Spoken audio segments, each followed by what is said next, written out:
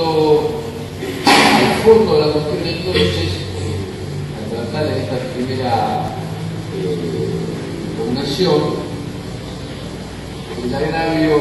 eh, versaba sobre esta nula arbitrariedad por la cual,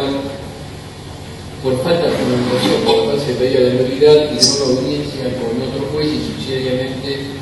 este, bueno, que se deje a salvo eh, el ministerio la situación de desenlace y se sobresea a, las, a los otros tres imputados.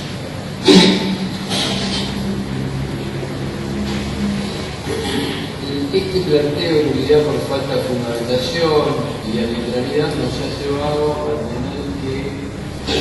ver eh, el registro de la audiencia del 16 de julio eh, en cuanto a cuáles son las razones dadas Él comienza hablando de los antecedentes, está particular de, de este caso, y dice que tiene que seguir los lineamientos del Tribunal de Impugnación, esto es, eh, estos tres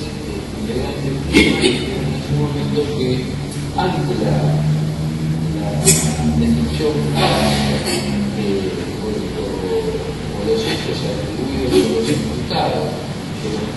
pusieron el conocimiento momento, eh, que no solamente se trataba de vicios formales, sino de vicios sustanciales.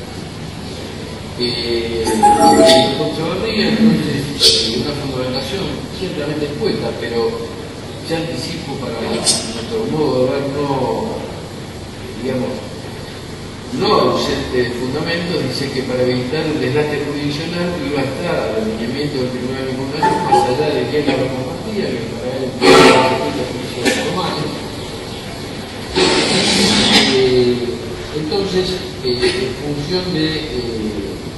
eh, claro, que eran vicios sustanciales que afectaban la acusación, eh, debía estarse a la letra del artículo 169 que dice en el caso de que no se subsanen los vicios, se va a tener la acusación como no presentada y tal caso el procedimiento definitivo, que es lo que, lo que finalmente compelido dictó. Es cierto que no se habló sobre los vicios en particular, y después termina diciendo que es tarea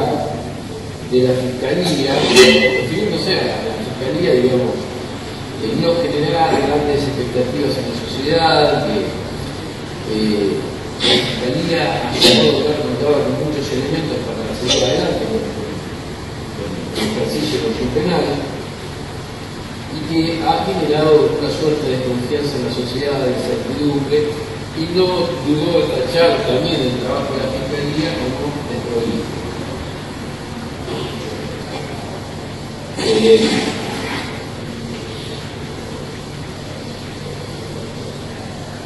insisto, para este tribunal esa fundamentación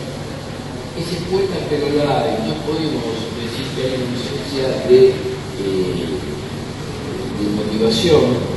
No advertimos ni arbitrariedad ni absurdidad, sino ante bien un descompromiso por parte de, de las acusadoras.